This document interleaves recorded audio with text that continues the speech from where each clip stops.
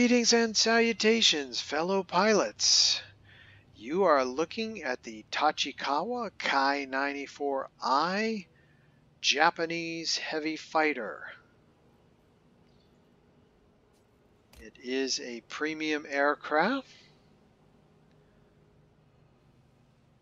Pretty awesome looking design. Fantastic paint schemes as you can see.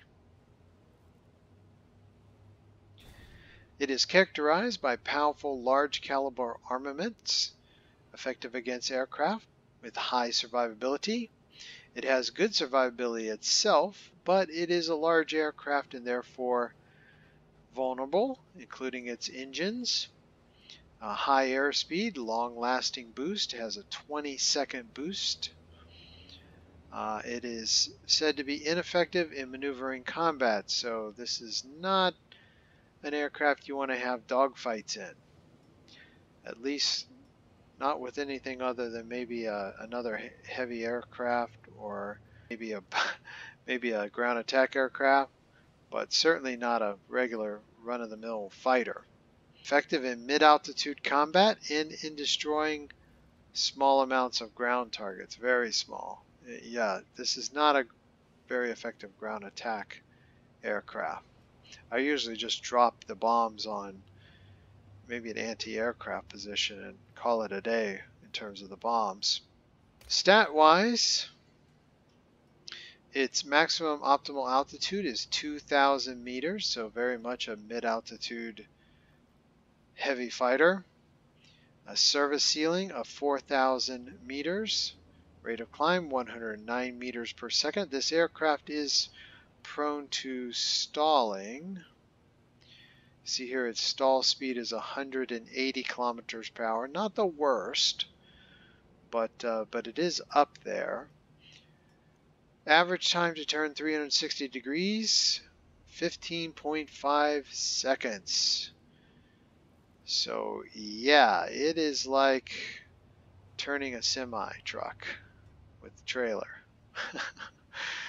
um, Rate of roll, 180 degrees per second, so that's pretty abysmal. Uh, maximum optimal speed, 720 kilometers per hour. Airspeed, its cruising speed is 594 kilometers per hour. Boost speed up to 703 kilometers per hour. Boost duration, as I said, 20 seconds. Maximum dive speed, 850 kilometers per hour. It carries two bombs that do cumulative damage of 8,800. Resupply time on the bombs is 120 seconds. It has a 30 millimeter cannon, two of them actually, and two 37 millimeter cannons. And collectively they do 870 damage per second an optimal distance of 580 meters. So could be a little bit longer on the optimal distance there, but it is what it is. So there are the two 30 millimeter cannons, 160 damage per second each, 200 rounds per minute, 580 effective firing range. Two 37 millimeter cannons, 240 damage per second, 120 rounds per minute, Again, 580 meter effective firing range. Would love to see that a little bit higher. But uh, yeah, is what it is. I do have this aircraft at specialist level. And therefore we have all the equipment choices available for the aircraft.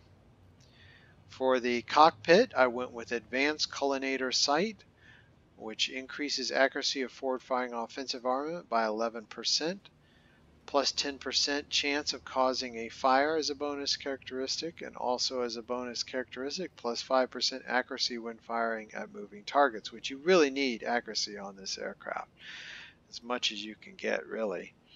Uh, your other option would have been cockpit armor, uh, which would have increased the crew's resistance to injuries, but you'd lose aircraft maneuverability, and eh, it's already pretty abysmal in the maneuverability category, so I don't think I would want to make it worse. Uh, there is no piece of equipment for the airframe slot. For the engine, I went with improved uprated engine, which increases acceleration without boost by 3.5% and cruise speed by 1.9%. Bonus characteristics of 0.5% maximum speed with boost activated.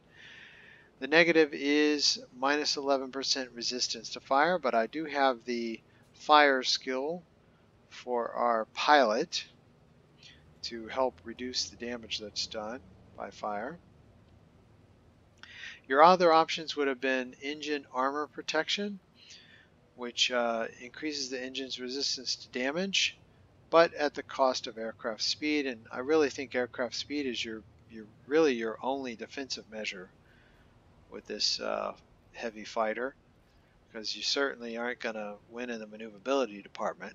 Uh, combined injection boost system, which would have increased boost efficiency, but at the cost of boost availability. And I, I do want that boost as available as often as possible. A lightweight power unit, which would increase aircraft maneuverability, but at the cost of engine's resistance to damage. And we already have a vulnerable engine, so I don't know that we would want to make it worse. And I don't know that, you know, increasing this aircraft's maneuverability would be all that fruitful. We do have uh, two pieces of equipment for the forward firing weapons. Uh, improved reinforced bolt carriers, which increases burst length by 7.9%, plus 2% rate of fire of forward firing offensive armament as a bonus characteristic. The negative is, and this is a negative for this aircraft, it hurts, minus 5.7% accuracy of forward firing offensive armament. But I do think it's good to have that extra burst length because these cannons do overheat pretty quickly. Uh, improved gas operated action, which plus 6.8% rate of fire of forward firing offensive armament, plus 5% chance of causing a fire, which is nice. But again, you lose more accuracy. So that, that does hurt for sure. Your other option would have been long gun barrels, which would increase range of fire at the cost of burst length. Now, that is an option just because it would not decrease accuracy, so you could go with that. Perfectly uh, reasonable choice. Consumables went with emergency medical kit, which restores our pilot to health if our pilot gets injured. Very important, I think. That does seem to happen quite a bit. This this aircraft is says it has high survivability, but I don't know. When I fly it, it feels pretty squishy. A secondary control system, which restores controllability of wings and tail. Again, I think that's pretty important. Uh, emergency engine cooling, you really need that again for defensive measures uh, and just to get into the battle as soon as possible as well. It improves the engine cooldown rate by 5 times for 10 seconds. And since we do have a vulnerable engine, a must is emergency engine restart system, which repairs the damaged engine. Pretty important. Uh, for ammunition, I have 175 of these fragmentation ammunition in the in my uh, depot, so I did go ahead and equip those. Why not? What the hell, right? Uh, they do maximum chance of inflicting critical damage and are recommended for autocannons. You'd be perfectly fine with the universal ammunition, uh, which increase chance of causing fire and inflicting critical damage. So I don't think you'll see any appreciable decrease in performance by going with the universal ammunition. Sometimes people really worry about that issue.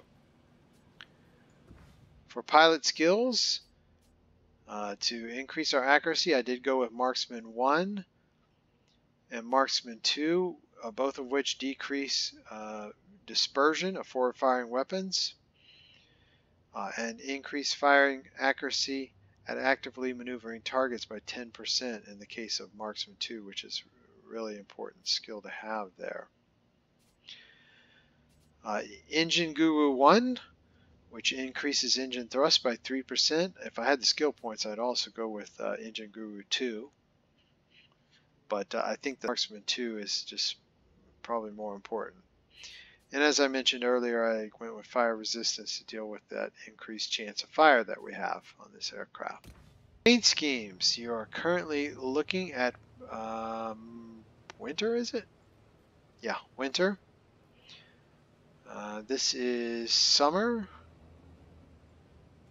desert, and marine. I like marine personally. That, that is really sharp.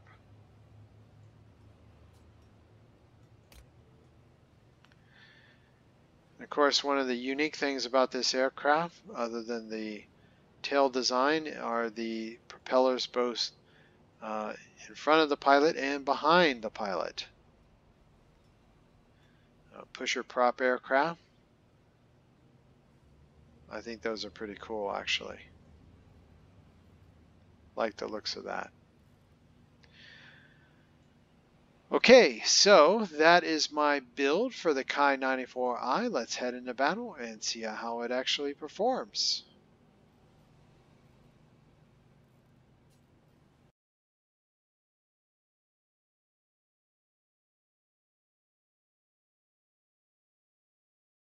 Alright, so our battle in the Kai 94 will be over the Alpine Gamut, Snow and Ashes Theater of Operation. And we'll head first to the military base at center map. Maybe do a little climbing first and uh, see what's up in the nosebleed section. Pilots, get ready for action. Let's go.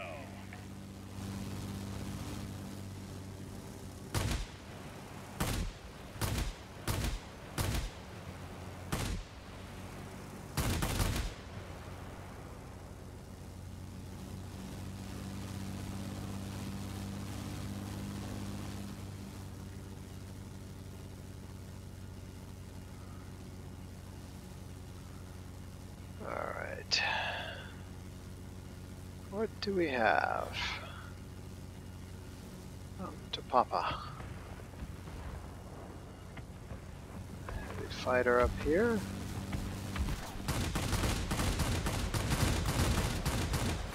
this aircraft has a specialty, I would say that it is heavy fighters.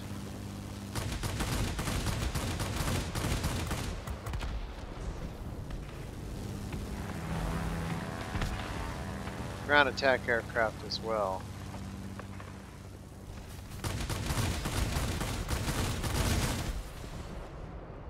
Did we get him too? Ah, nope.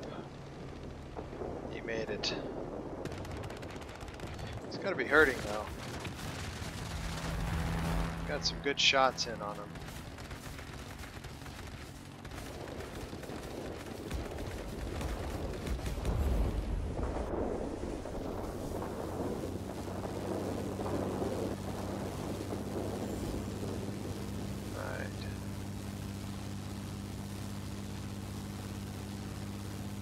Might be a bad idea to ram a plane that's call sign tank. Alright, so we've got a B-17G coming up here. Those 50 cals can be pretty vicious.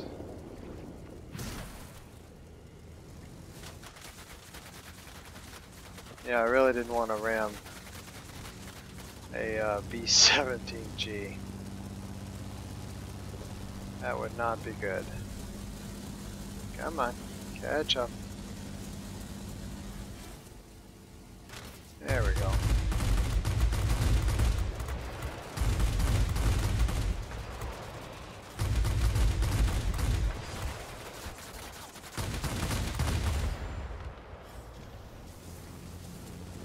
Okay, you would hope you don't miss a B-17G, right? I mean, that's a pretty big target up there. Alright.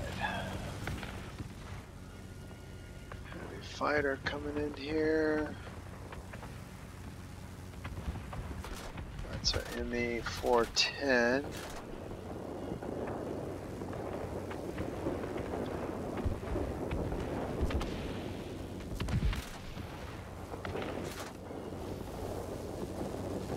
To roll off to our left. If I can, I'd really like to stay on that 410.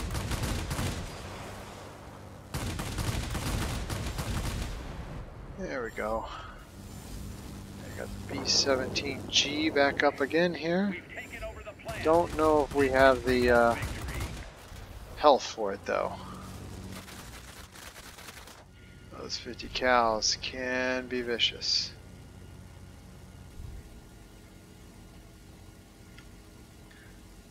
We're gonna catch up to it.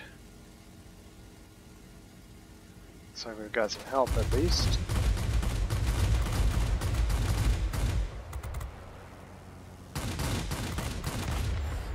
There we go. Alright, and we're hurting on health here. Uh, what do we have over here? Heavy fire. Ooh. It's, what is that? BF 109. High climbing aircraft.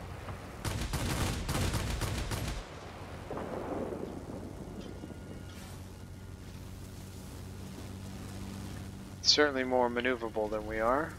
So if we get in a dogfight, we're losing that. Our best bet is just dive straight down and hope for the best.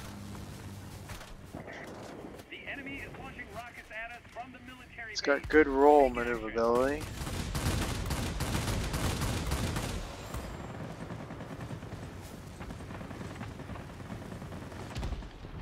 You maybe it forgot about us.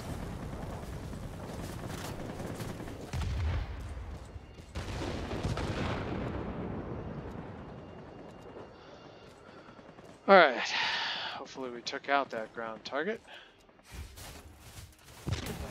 Head into the airfield here, got this bomber up here. That is headed to the plant.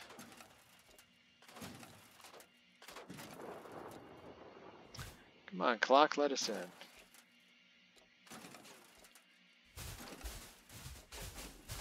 Looks like it's, oh wow.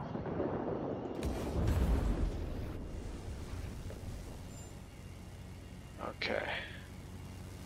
So let's head over here and see if we can save the plant.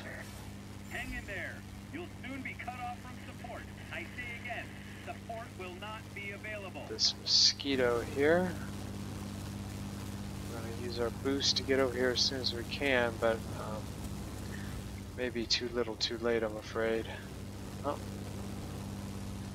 That's good. What is coming around? Is it the bomber? Yeah. Got a bomber up here. Let's see if we can take it out.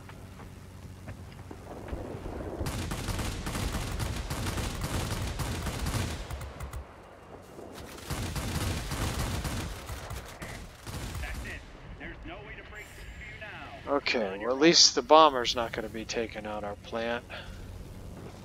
But looks like the military base putting a hurting on it.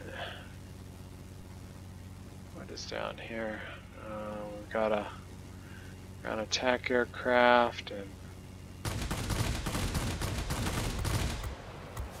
don't uh, wait too late to pull up out of a dive with these things because yeah it can be tough sometimes to get out of one of those dives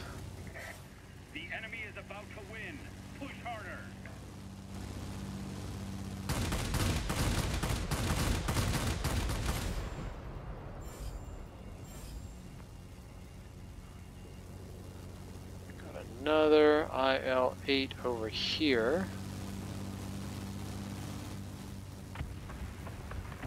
Looks like it's headed towards our airfield.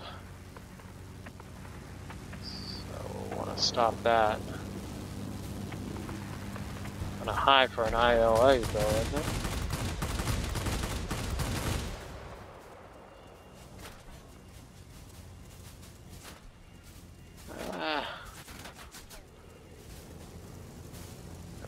Fighter here, mosquito working on us. Trying to anyway. See if we can finish the IL-8. Then we can deal with that mosquito.